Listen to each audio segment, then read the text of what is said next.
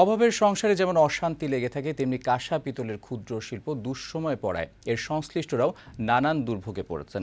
কারিগরদের রোজগার কমেছে, পেশা ছাড়ছেন অনেকে। বংশ পরম্পরায় কারিগর ও শিল্পী তৈরি হলেও শিল্পের বেহাল দশার কারণে নতুন প্রজন্ম যুক্ত হতে অনাগ্রহী।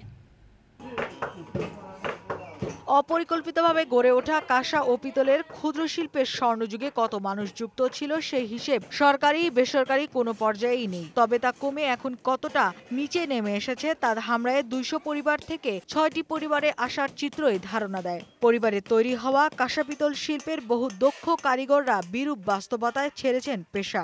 কাজ করে পরিশ্রম করে এরকম পয়সা হয় না কাজ এই সমস্ত কামে মানুষ করে না ঢুকে না।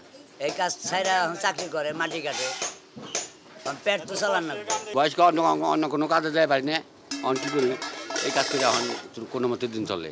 এখনও যারা কাঁসা পিতল শিল্পের সাথে যুক্ত আছেন তাদের বেশিরভাগই বয়স বা অন্য কোনো কারণে পেশা পরিবর্তনের সুযোগ নেই বলে থাকছেন। তবে এই শিল্পের উদ্যোক্তা ও কারিগরদের নতুন প্রজন্মের সদস্যরা আগ্রহী হচ্ছেন না এখানে যুক্ত হতে। একটা ভালো জব পাবো এই আশায় লেখাপড়া করতেছি। এই কারণে ফ্যামিলি থেকেও এই কাজ আমাদের আর কি আওতাভুক্ত করতেছে না। মানে আমরা যা শিখছি এই পর্যন্ত আর পরে কেউ খানে কেউ শিখব। না বাজারে চাহিদা কমায় কমেছে কাঁসা পিতল সামগ্রীর উৎপাদন।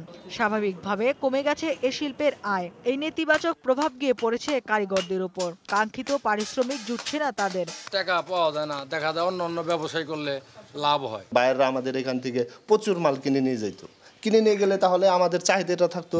রাজধানী ঢাকায় নির্ধারিত কিছু এলাকার কয়েকটি দোকানে কাঁসা পিতলের সামগ্রী আজও বিক্রি হয়। এখানে সংশ্লিষ্টরা বলছেন বিশেষ কিছু উপলক্ষে বিশেষ প্রয়োজনে অল্প সংখ্যক ক্রেতা আজও রয়েছে বলে তাদের এ বাণিজ্য টিকে আছে এখনও আধুনিক যত জিনিস বাড়বে তত মানুষের প্রতি আগ্রহ থাকে। অনেক আশার ভিতরে অনেক আগের মতো আগ্রহ একটা থালে কুড়ি টাকার মধ্যে হয়ে যাচ্ছে। আর কাঁসা পিতলে একটা ছোট পুজোর থালা নিতে গেলে দেড় থেকে দুশো টাকা লাগছে। যুগের সাথে তাল মিলিয়ে হচ্ছে না। মাজার ঘষে অনেক কষ্ট আসলে ময়লা হয়ে যায় কালো হয়ে যায়। দুরবস্থার কারণে কাঁসা পিতল শিল্পে বিনিয়োগ কমেছে কাঁচামালের সরবরাহ নেমেছে নিচে। এছাড়াও আরও নানান জটিলতায় জড়িয়ে আছে এই খাত যা আজও সম্ভাবনাময় বলে বিশ্বাস করেন অনেকে। তাই এখনও নানান উদ্যোগ গ্রহণের আশ্বাসের কথা শোনান কেউ কেউ। বাংলাদেশে যত রকম হস্ত এবং কুটির শিল্প আছে সেগুলোকে সরকার এবং বেসরকারি উদ্যোগে এগিয়ে নিয়ে যাওয়া যায়।